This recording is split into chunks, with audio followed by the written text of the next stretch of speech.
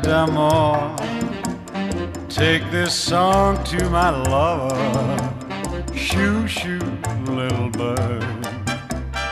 Go and find my love. I'm Aaron Rand, and welcome to. Uh, well, see, the thing is, I know this now is my laundry room, but when I first moved into this house and, and I came down here, I said, "Wow, check out the two cool TVs." This is a collection of my uh, my laundry. Uh, this is my personal favorite right here.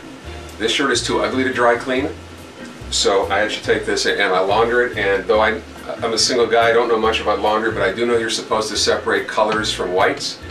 But I'm not sure what this would qualify as because it's pretty bright and almost white.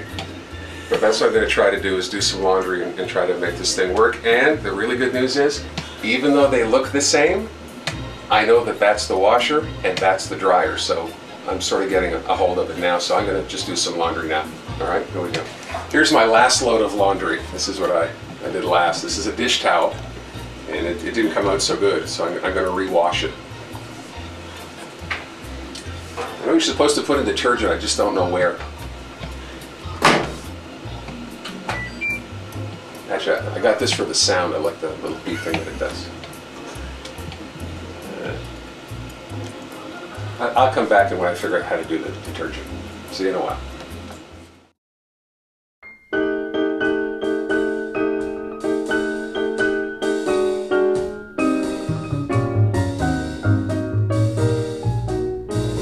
Ever since Susan Johnson lost her jockey Lee, there has been much excitement and more to be.